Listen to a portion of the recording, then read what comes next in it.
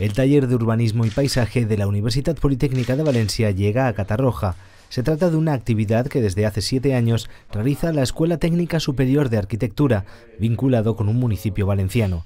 Los estudiantes son quienes con sus jóvenes propuestas ofrecen nuevas ideas a los ayuntamientos. En esta ocasión ha sido el Ayuntamiento de Catarroja quien ha tomado la iniciativa y ha contactado con la UPV. Que tenemos Huerta, que tenemos Marjal, que tenemos Albufera, tenemos un casco histórico importante como son las barracas y a partir de ahí eh, lo que podemos conseguir son pues, unos estudios muy interesantes para, para hacer un desarrollo urbanístico sostenible. Estamos centrando la intervención sobre todo en el casco histórico del municipio, que tiene unos problemas de abandono y de, dejadez por parte, al ser tan denso ese, ese entorno. Durante el segundo cuatrimestre, la intervención se centrará en el puerto de Cataroja y en establecer diferentes conexiones entre los dos barrancos que delimitan el municipio.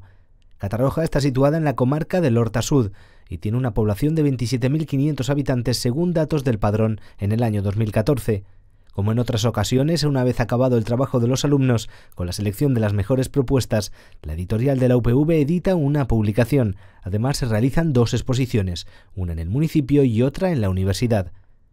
El taller de urbanismo y paisaje de la UPV sirve como banco de ideas y en ocasiones el equipo de gobierno de los diferentes municipios en los que se ha intervenido incorpora alguna de las propuestas aportadas por los estudiantes.